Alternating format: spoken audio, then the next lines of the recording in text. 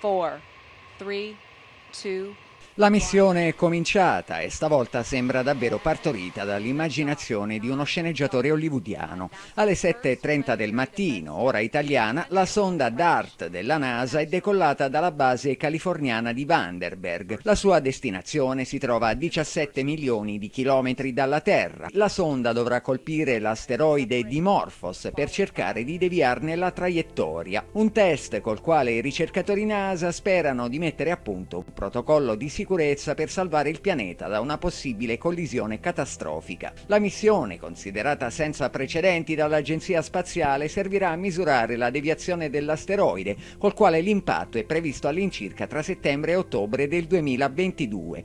Un ruolo lo giocherà anche l'Agenzia Spaziale Italiana, che ha messo a disposizione il microsatellite Licia Cube, che dovrà filmare le operazioni nello spazio.